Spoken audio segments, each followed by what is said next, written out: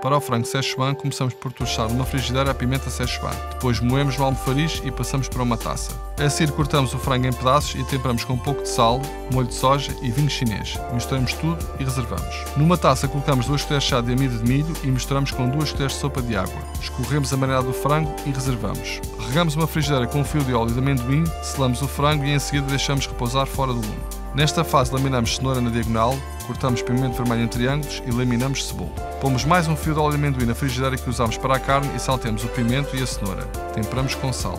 Agora juntamos o frango, a pimenta, a marinada, açúcar, vinagre e a mistura de amido de milho. Temperamos com um pouco de sriracha e adicionamos o cebolo. Finalmente apertamos e servimos com arroz branco e cebola fresco.